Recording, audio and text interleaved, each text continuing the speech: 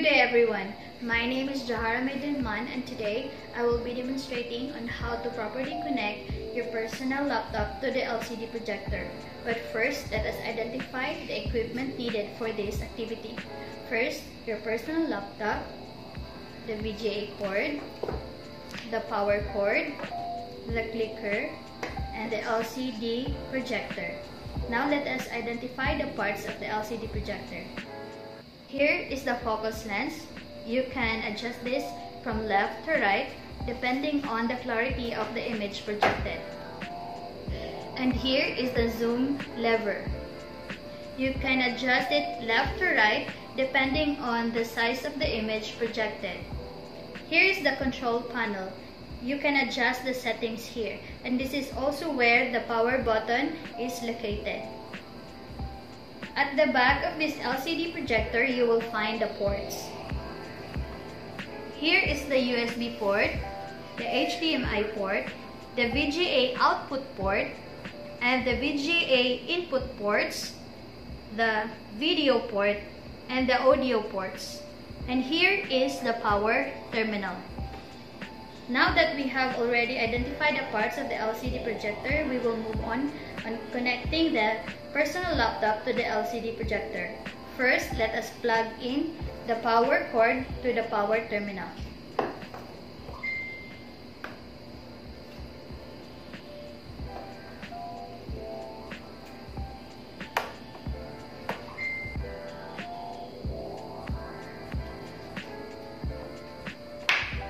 And let us plug this to the AVR.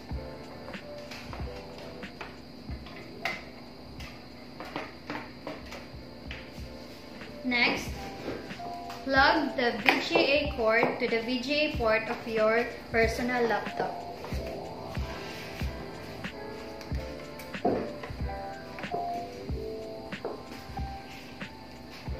Do not forget to tighten the screws.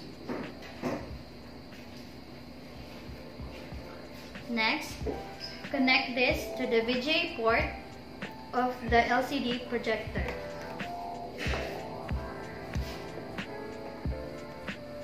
Again, do not forget to tighten the screws.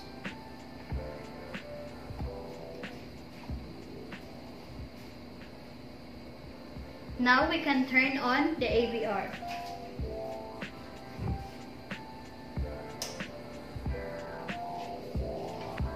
Next, turn on your personal laptop and turn on the LCD projector.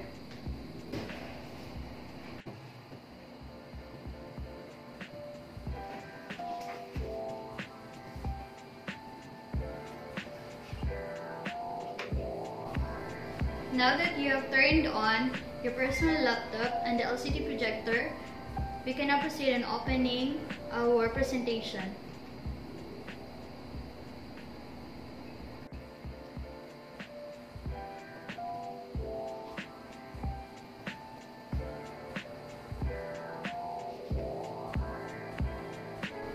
Now, we can use the clicker. At the back of the clicker, there is a USB that you must attach to your personal laptop for you to use the clicker.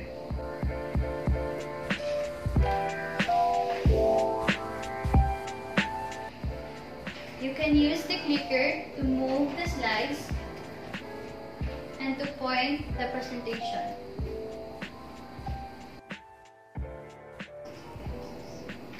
Now, I will be presenting my topic. Contact Center Services NC2 Contact Center Services NC2 have a nominal duration of 356 hours. This course is designed to enhance the knowledge, skills, and attitudes of trainee students on core competencies such as communicate effectively using English language, deliver quality customer service, perform computer operation and internet navigation, demonstrate understanding and knowledge for the American culture and geography in accordance with the industry standards.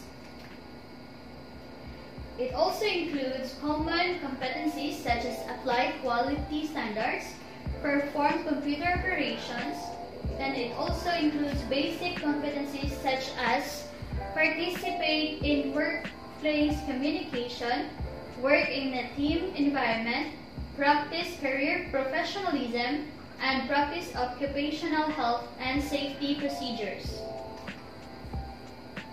The title of my module is Delivering Quality Customer Service.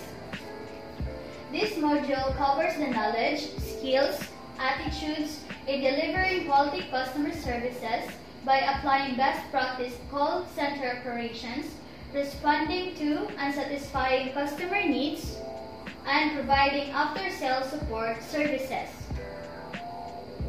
The summary of the learning outcomes upon completion of the module, the training students should be able to First, demonstrate understanding of the BPO call center industry. Second, transmit, receive calls to or from customer, handle customers' complaints, and provide after-sales support and document events.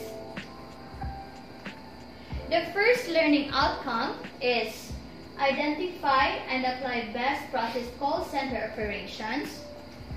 And under these learning outcomes, there are three contents. One is types of industry, types of products and services, and call center agents performance, performance matrix. The second learning outcome is transmit or receive calls to or from customers. And under this learning outcome, there are 10 contents. One is data gathering, two, different customer needs, three, e-services technology, four, using personal computer, five, professionalism in workplace, six, interaction with customers, seven, basic oral and written communication skills, eight, interpersonal skills, nine, hold process policy, 10, telephone etiquette. The third learning outcome is handle customers' complaints. Under this learning outcome, there are four contents. One, protocols for handling difficult or irate customers. Two, process of handling customer inquiries. Three, language for dealing with customer complaints. Four, process of hand, handing off customers to supervisors. The fourth learning outcome is provide after-sales support services. Under this learning outcome, it has five contents. One, problem-solving skills. Two, active listening or questioning skills. Three, instruction techniques. Four, documentation procedures. Five, influencing and persu persuasion techniques. And that would be the end of my presentation. Now, I will demonstrate on how to properly disconnect your personal laptop to the LCD projector. First, close all your applications to prolong the life of your personal laptop, you have to close all the application before turning off.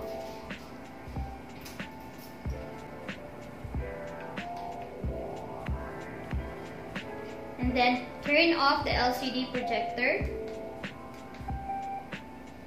Remember, do not immediately unplug the LCD projector and let it cool down by itself.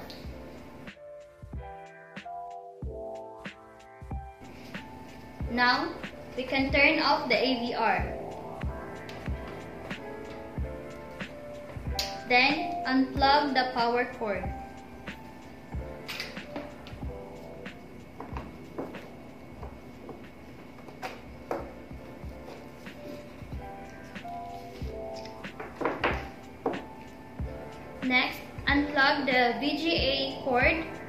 Do not forget to loosen the screws.